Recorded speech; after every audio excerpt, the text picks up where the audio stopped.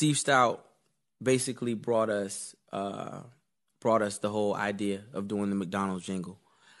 When when he brought it to us, he gave us the "I'm loving it," you know, uh, Tagline. tagline. Yeah. and we basically just wrote to that. So you just wrote da da da da da. No, no, no, no, no, uh, no. But you know, within that, um, you know, they just took pieces out, whatever the case may be. And I feel like was that. McDonald's shouldn't have wanted to work with this guy. But it, it- but no no no no no and and Steven and, Victor again. and they got over like they got over pay a one one time payout Oof.